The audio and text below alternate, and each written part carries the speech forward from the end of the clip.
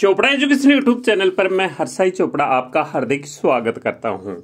मेरे प्यारे बच्चों, जैसा कि आपको मालूम है, नीट 22 का एग्ज़ाम 17 जुलाई 22 को है और इसमें अभी 20 डेज़ से भी कम का समय बचा है।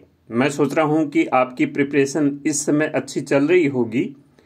मैंने आपको ये बताने के लिए ये वीडियो तैयार किया है कि आपको, जो आपके स्टडी हावर्स हैं उनमें टू हावर्स की बढ़ोतरी इन ट्वेंटी डेज़ के लिए करनी चाहिए।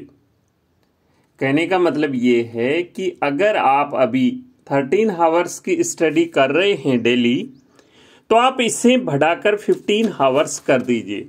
अगर आप ऑलरेडी फोर्टीन हावर्स की स्टडी कर रहे हैं तो इसको सिक्सटीन हावर्स कर दीजिए।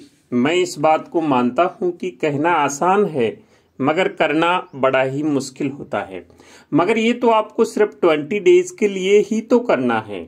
उसके बाद तो आपकी लाइफ सेट है।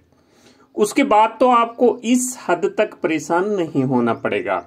आपकी पूरी लाइफ इन ट्वेंटी डेज़ पर डिपेंड करती है कि आप इस समय कितनी मेहनत करते हैं।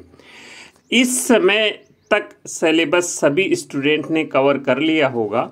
और अभी इन ट्वेंटी डेज़ में आपको रिवीजन भी करना है साथ साथ टेस्ट प्रैक्टिस भी करनी है।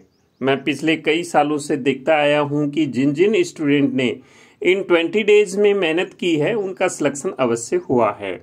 मेरा एक्सपीरियंस ये कह रहा है कि इस समय मैं कुछ स्टूडेंट से ये मानकर स्टडी कम कर रहे हैं। कुछ स्टूडेंट ऐसा मान कर स्टडी कम करते हैं कि मेरा तो सिलेक्शन नहीं होगा इस बार।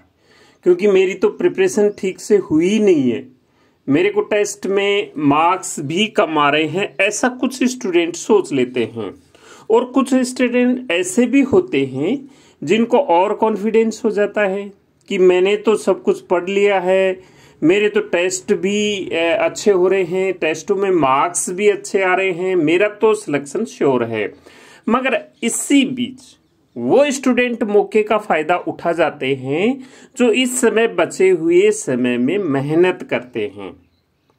तो आइए मैं आपको एक हकीकत से रूबरू करवाता हूँ। आपने कभी एक फौजी की लाइफ देखी होगी। वो सिर्फ़ फाइव हावर्स ही सोता है, बाकी नाइनटीन हावर्स मशीन की तरह ही चलता है। आप ये बातें आपके दोस्त या रिश्तेदार से भी पूछ सकते हैं जो फौज में नौकरी कर रहा है। इस कड़ी धूप में उसकी ड्यूटी की आप कल्पना कर सकते हैं। वो इतना त्याग क्यों करता है? वो इतना त्याग इसलिए करता है कि उसके परिवार का फ्यूचर ब्राइट हो सके। उसके परिवार की हर ज़रूरत पूरी हो सके, क्योंकि उसके ऊपर उम्मीद लगाए उसका पूरा परिवार है जो उसी पर निर्भर है। वो इतनी मेहनत करता है अपने उस परिवार की उम्मीदों को पूरा करने के लिए। उसी तरह आपके परिवार की भी आपके ऊपर उम्मीदें हैं। क्या आपको उन उम्मीदों को पूरा नहीं करना चाहिए? एक फौजी जो आप जैसा ही इंसान है, इतनी परेशानी झेलकर अपने परिवार की उम्मीदों को पूरा करता है तो आपके पास तो काफ़ी सारी फैसिलिटी हैं। आपके माता पिता ने आपको वो फैसिलिटी दे रखी है जिसका वो खुद आपके लिए परित्याग कर चुके हैं। आपके पेरेंट्स को आपसे उम्मीदें हैं। आपके भाई बहन को आपसे उम्मीदें हैं। क्या आपको उनकी उम्मीदों को पूरा करने के लिए मेहनत नहीं करनी चाहिए? मैं तो सोचता हूँ आपको ज़रूर मेहनत करनी चाहिए। और अभी मेहनत तो सिर्फ़ ट्वेंटी डेज़ से कम समय के लिए ही तो करना है।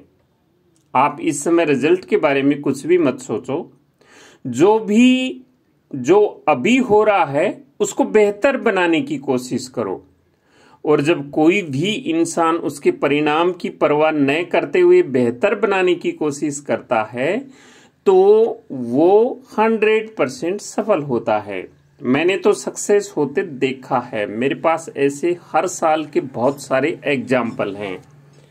मैं आपका ज़्यादा समय न लेते हुए वीडियो के अंत में यही आपको एक सलाह दूँगा कि इतनी मेहनत करो ताकि उसका परिणाम बोले कि आखिर आपने मेहनत की है। मेहनत करने से कोई दुबला पतला नहीं होता है, बल्कि और निखर जाता है। सही समय पर की गई मेहनत ही सराहनीय होती है। आपके पास मेहनत के लिए अभी समय है। मेहनत करो, आप अवश्य सफल होंगे। Best of luck.